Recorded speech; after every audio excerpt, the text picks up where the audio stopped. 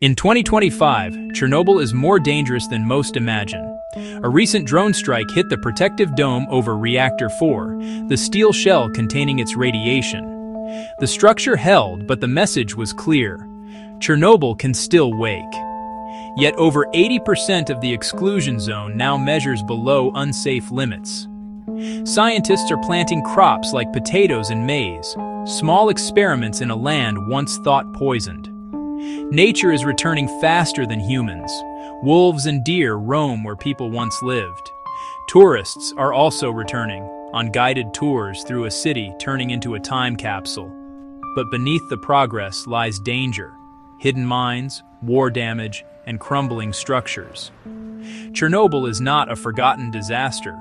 It's a living warning, a reactor that must never be disturbed. A place that looks calm, but still remembers the day the sky turned radioactive.